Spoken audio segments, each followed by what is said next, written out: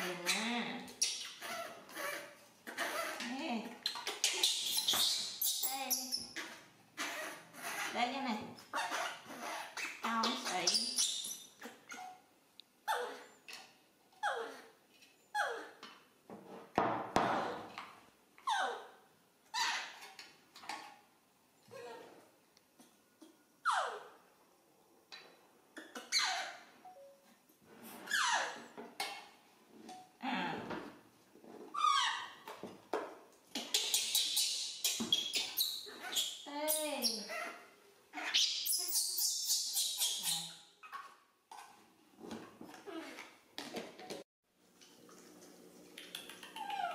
ね